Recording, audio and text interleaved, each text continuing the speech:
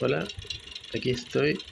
Hace tiempo que no hacía un video, un video tutorial para mi viejo canal de YouTube.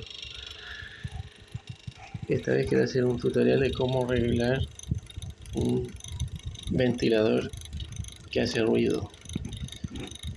Ahí como ven, tengo un ventilador muy viejo, muy usado, que hace un ruido infernal. Eh, no hallaba cómo arreglarlo, no, había manera, hasta que entendí de dónde venía el origen del ruido.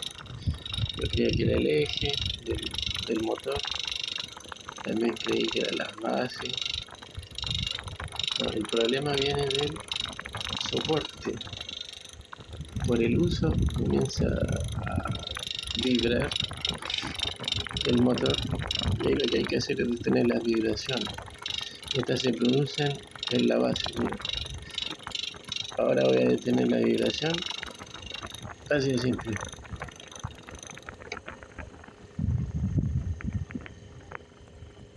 Y el ventilador dejó de hacer ruido.